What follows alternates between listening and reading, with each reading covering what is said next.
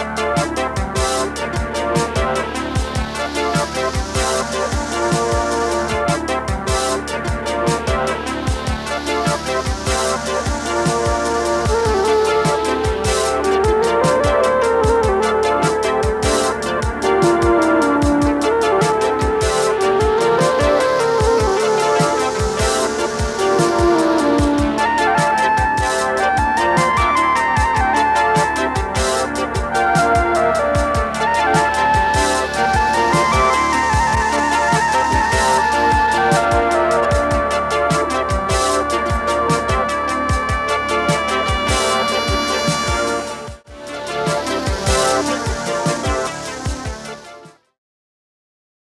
Good evening, all. I'm Aditi Lamba with the Thursday night edition of South Asian News, Vision of Asia. We are coming to you from our studio in New York City.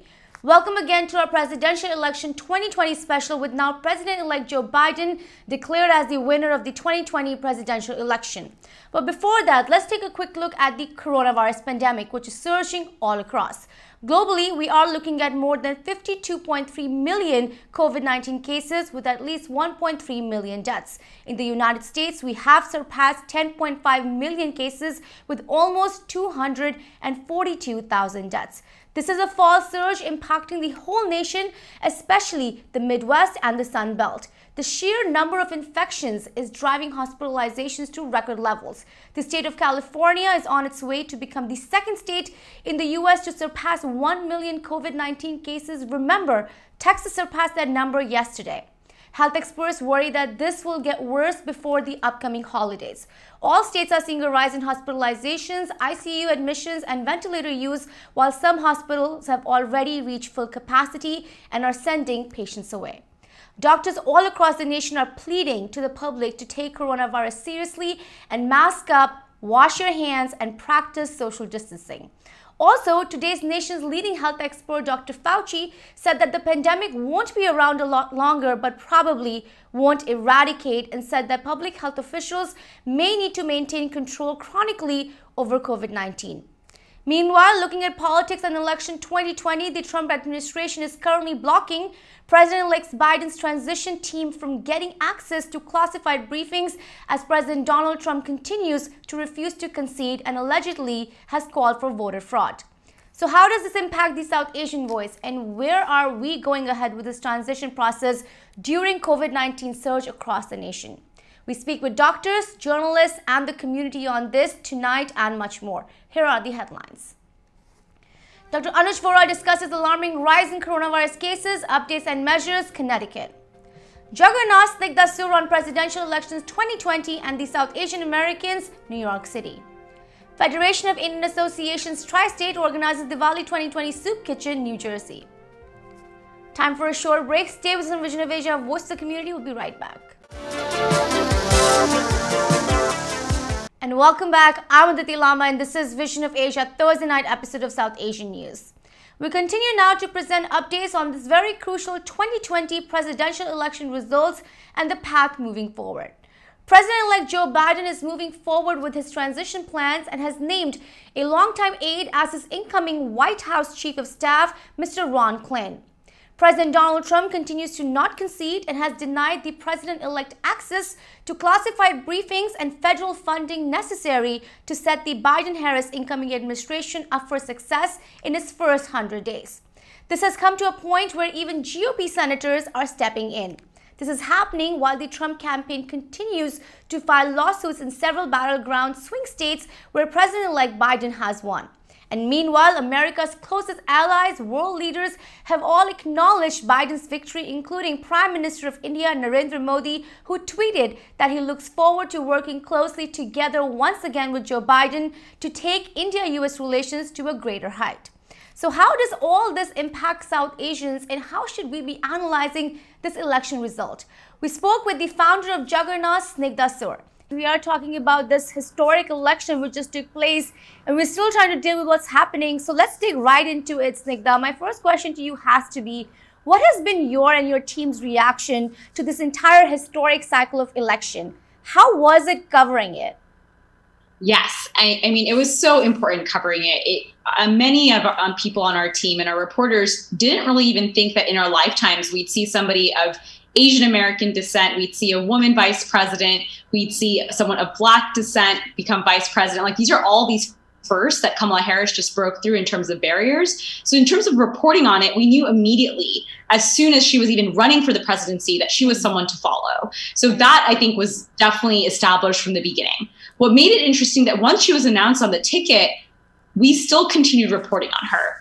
And what our reporters are finding in the field, obviously, is there are so many mixed emotions at the same time. So many people are so excited to see her. And it's true. She said she, you know, she won't be the last. She might be the first, but she won't be the last. And so many young women, you know, non-young women are so excited to see somebody like her at the second highest position in political office in the US.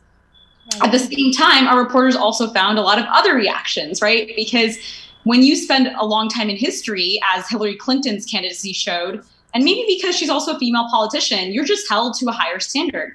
Kind of your entire history is really looked at with the magnifying lens. Um, a lot of past records are looked at. And at the same time, you know, there have been moments where she has had a few gaffes in both the Black and the Indian community. So that's been kind of interesting to, to report on as well. How do you think South Asians reacted to the Biden Harris ticket, according to you, with whatever information you were able to gather? So, you know, it's great because we also looked at this amazing Carnegie uh, survey called Indian Attitudes, Indian American Attitude Survey. This survey in, uh, surveyed about 936 Indian American citizens in the US right before the election.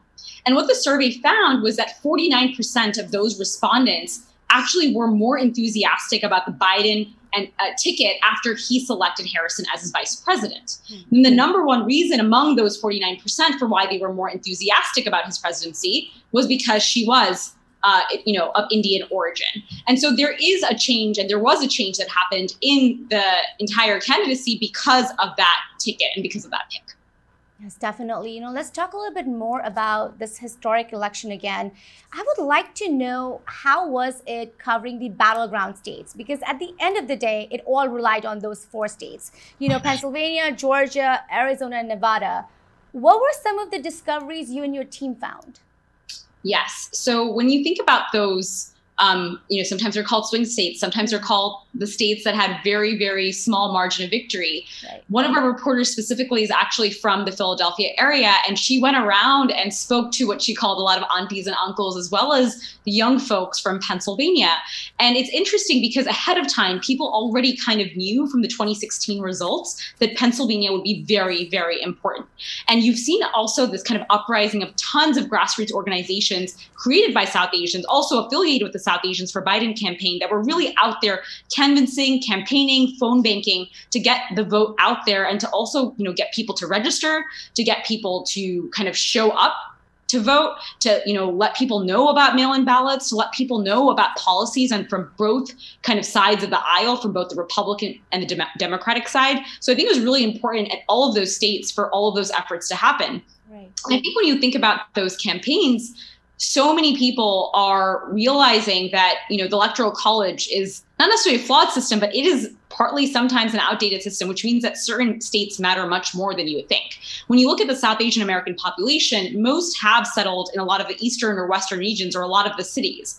And so what you're increasingly seeing is that states that are like georgia which have atlanta or states like pennsylvania which have philadelphia increasingly have south asian american voters and they could be you know, swinging the elections. On this coming weekend, more than a billion people around the world will be celebrating Hindu Festival of Lights Diwali 2020.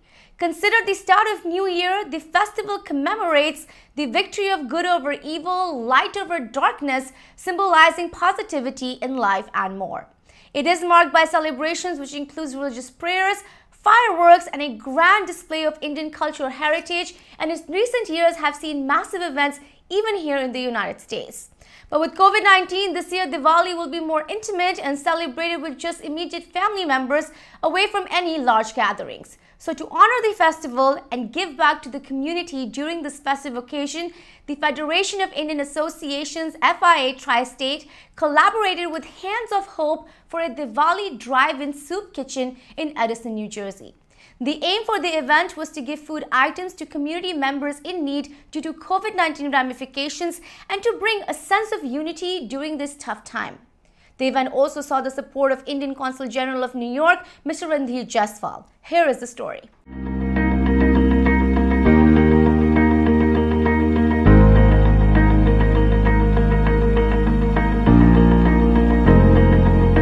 Wave Beats Music.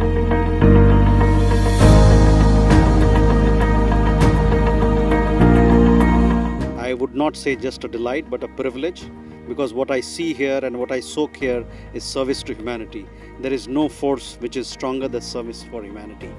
Today, this particular event happening under the banner of FIA during the Diwali celebration, on the occasion of Diwali celebration, it gives us so much of joy and happiness because this festival is about sharing with our near and dear ones and sharing with people around us.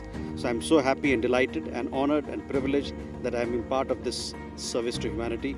Thank you FIA for this wonderful initiative and event. You have our all support. Today it's an uplifting day for me. It's I'm very encouraged and very thrilled.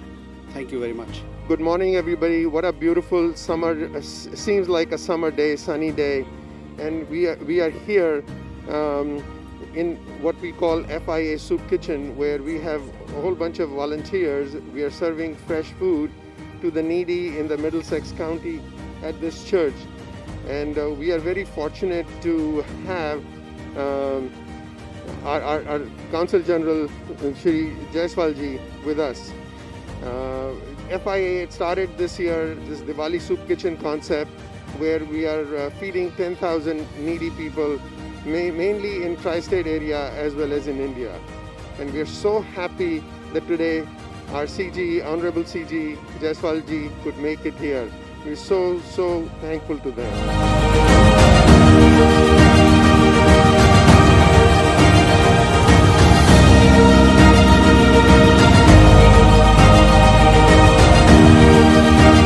And as you can see, we are uh, giving out our food to our clients today. And thank you for the organizations that have uh, donated, you know, to make this day possible. Uh, and if it wasn't for all the organizations who help us, we would never be able to provide the food. Uh, today, we, we are providing, you know, a bag full of uh, all kinds of non-perishable food items. We have an organization from East Brunswick who drops off all kinds of perishable foods and we baggage them in the morning and we'll give them out to the to the residents and then uh, we have the organization who donated our lunch and we're giving everybody a hot lunch today which we haven't done since march. I want to uh, congratulate uh, hands of hope uh, charles tamaro and the team kathy uh, and all the volunteers who are doing a wonderful job of uh, serving hot meals fia is sponsored here. And and as you see it's a very happening successful drive and i think we have we're serving the community proud to be part of edison. Uh, i've been raised here and it's a uh, my hometown uh, that i love. So uh, it's uh, an added pleasure to, to give back and to, to volunteer in the community activity. And, and i want to be thankful to all the volunteers and all the donors who have done a wonderful job of helping out. As you see uh, as uh, right now we have 200 meals ready to serve and uh, about 200 packed dry cold meals if you would or, or packaged food. And and I think with this uh, we are going to reach a new uh, collective milestone uh, for for FIA's Diwali Soup Kitchen drive for which I thank all the sponsors. Federation of Indian Association has started the Diwali Soup Kitchen to support in this pandemic and we all know Diwali uh, is for just giving the happiness, to spread the happiness and Federation of Indian Association has taken a great initiative to spread the happiness throughout this pandemic. So we are very happy and we'll come, keep continue doing this amazing work for the community. Basically what I do is supervise the um, or help coordinate the people that pack the bags for us on there. Um, every week we come in, we have a group that comes in and packs them so that they're ready for the next time that we're open. And um, order food if we have to, or sort the food when um, it comes in, donations we get. On there, I also pay the bills from the money that's donated. And it's time for the short break. Stay with us on Vision of Asia, Voice of the Community Election 2020 special. We'll be right back. And welcome back. This is Vision of Asia, the South Asian news segment, and I am Aditi Lamba. We are looking at now the coronavirus pandemic. More than a dozen US states have doubled their COVID 19 caseloads in the last 14 days as the pandemic spreads relentlessly across much of the country. It's impacting currently the Midwest and the Sun Belt the worst, but COVID 19 cases increase has been felt everywhere.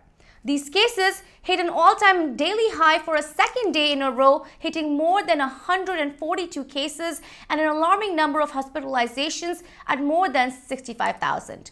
Officials in several states, including New York, California, and hard-hit hotspots in the Midwest, reimposed restrictions to try to stem the spread of the infection as winter looms and people gather indoors more, heightening the risk of the contagion.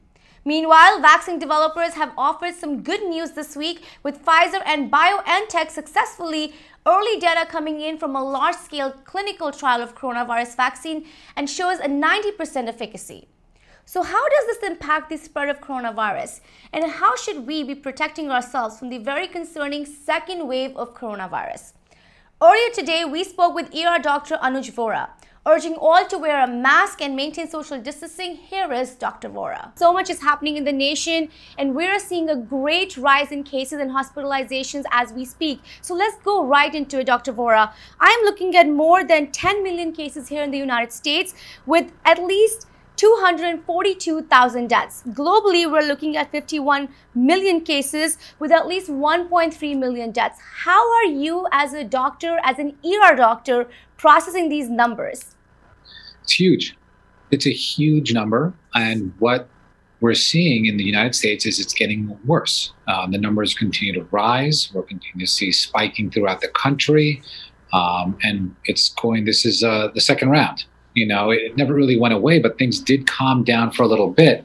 And now we're seeing the second wave that we expected. Um, as you mentioned, we're seeing over 10 million cases now. We're also going into flu season. And I think the expected uh, growth of this disease will continue, uh, unfortunately, uh, over the next month or two. Uh, we're hypothesizing that November, as we're seeing an increased growth, we'll continue to see a high spike into December. Um, and then we'll see what happens from there. And hopefully by January and February, things start to calm down again.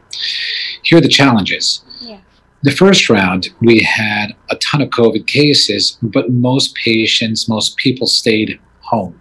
Hospitals were busy in their ICUs and their EDs didn't see a tremendous volume. In fact, we saw a pretty significant drop in volume because most people were not using emergency departments, they were staying home.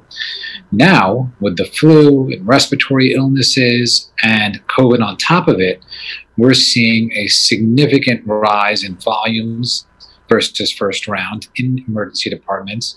And that's going to lead to a lot of challenges um, because there's only so much space and only so much capacity we have.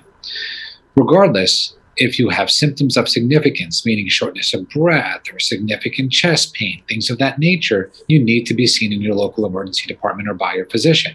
Okay, the most devastating issues and complications we're seeing with COVID illness is hypoxia, which is low oxygen level. So most patients will stay in the hospital or go to the ICU based upon that. Now, there are many other things that you can have with COVID. You know, the symptoms are very similar to the flu runny nose, cough, congestion, body aches, weakness, abdominal pain, nausea, vomiting, diarrhea, so many symptoms. But having COVID is one thing, having a significantly clinical COVID is another. So if you're unsure of what you've got and you have symptoms, you should certainly get checked. But just be mindful that you may not be kept in the hospital, which is a good thing, unless you really need to be there. And most of the time is based upon your oxygen levels. Yes, definitely. You know, I would like to discuss these numbers, Dr. Vohra. Yesterday, we reported 144,000 new cases, and there mm-hmm. were more than 65,000 hospitalizations. Um, does that number make sense to you? And have you started to see that increase in the two ERs that you direct?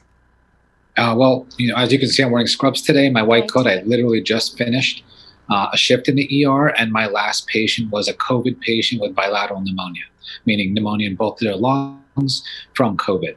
Um, so we're certainly seeing an uptick in our facilities, in both of the EDs, in our entire system of 11 hospitals with an increase in COVID patients. Yes, uh, we're feeling it in the state of Connecticut, and we're seeing it nationwide. Um, it is unfortunate, and what's what's even scarier is that the uptick in cases is even higher than our first go around.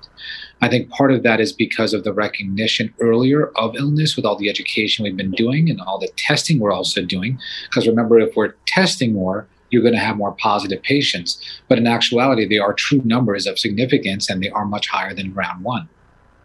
Yes, definitely. You know, currently we are seeing a rise in the Midwest and the Sun Belt and certain parts of the south of this country. You know, in the beginning of this pandemic, when we look back at the months of March or April, it was us who were the epicenter. We had the most number of cases. You know, states like New York, New Jersey, Connecticut, Pennsylvania saw the worst. Do you think we all have to prepare for something like that here cases are surging on a different side of the country right now. How much is this going to impact us in the coming months? Um, it's impacting us now. I think we all need to prepare for the second round. And if you're living in the tri state area or an area that had a high surge that's calmed down, um, it will only stay low if people are careful and wearing their masks and keeping a social distance.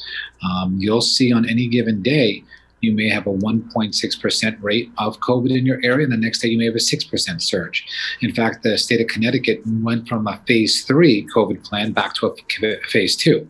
And you may see that in other areas throughout the world where they may have had a implementation plan of different models for COVID. You know, phase one is all indoor restaurants shut down and you know very limited restaurant takeouts available and, and, and, certain hours of operation for certain industries you know phase two loosened up so when i use phase one phase two phase three i mean phase one is pretty much complete lockdown phase three is almost opening up to normal operation um, and we may be stepping back from that as we already did in Connecticut. You may start to see that in other areas of the country and different parts of the world. So to answer your question completely is just if you live in a safe area, you still need to take every precaution possible because you're seeing the surge in other areas. Yeah. Um, and it can certainly circle back to you or as it is to us.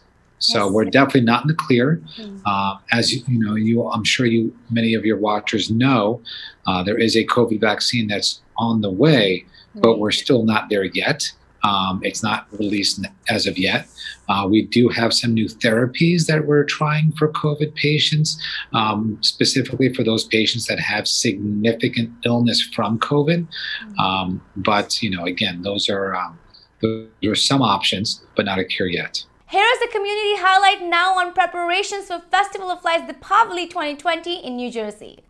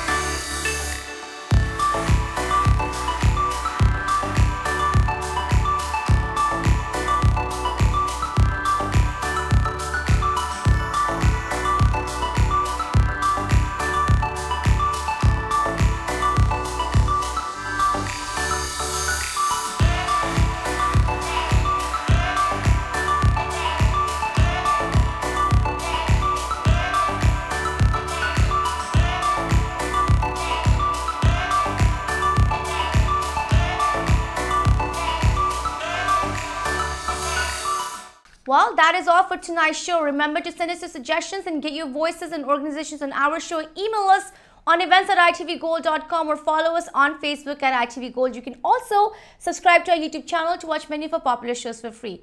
Thank you for joining us tonight from Queens, New York. This is Vision of Asia, and I am Aditi Lamba. Take care and be well.